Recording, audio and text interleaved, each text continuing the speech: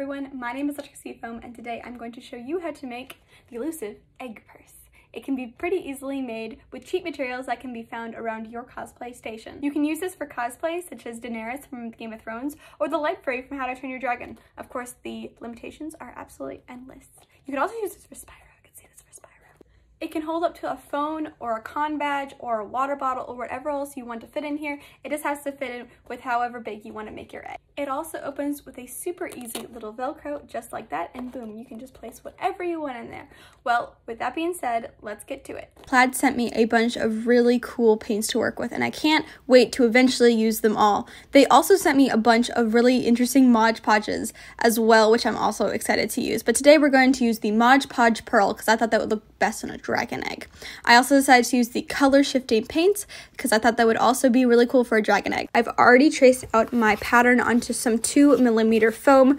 I used an egg pattern that I found online and you can easily find one if you just look up egg pattern foam tutorial. Here I am cutting it out and don't forget to mark the little areas where you'd want them to line up. I found that super helpful later on and try to cut it as best you can. Here are all of my foam pieces cut out and what you're going to want to do now is cut them in half and then glue them all together. My next step was to glue it all together using some hot glue because I think contact cement is terrible for you and it really didn't matter in the end. I also cut out a ton of tiny little scales. You'll need like 200 of them for it. Once you have glued on all the scales overlapping on both of the egg halves, you can start Mod Podging. And please ignore my absolutely terrible brush. Once you finish about three coats of Mod Podge, you can start painting with your color shifting acrylic metallic paint in blue violet flash. I was super excited to use this and I think the results are just really cool. You can actually see the color shifting between gold and purple and it's just really awesome. And right here, you can see that I've painted it maybe, I think, about two times, I believe.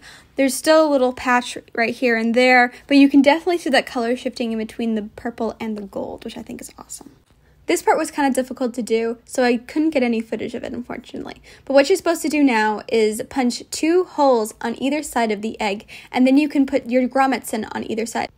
Now what you're to do is take whatever fabric you want. You can use felt, you can use stretch fabric, and what you're just to do is line the side of the egg. Does not have to be perfect. No one will, other, will ever see it. Don't worry.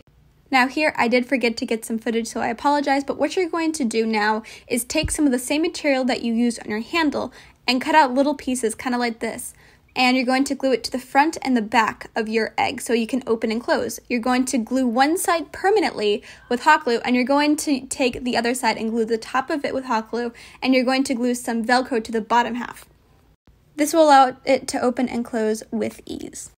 Thank you guys so much for watching my dragon egg purse tutorial and I do hope you, you can use it on your next cosplay.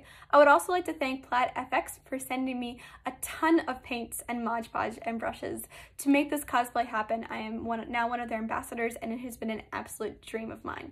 So thank you guys so much and you can find Plaid FX at your local Michaels or Joann's or even online. So please go use their stuff.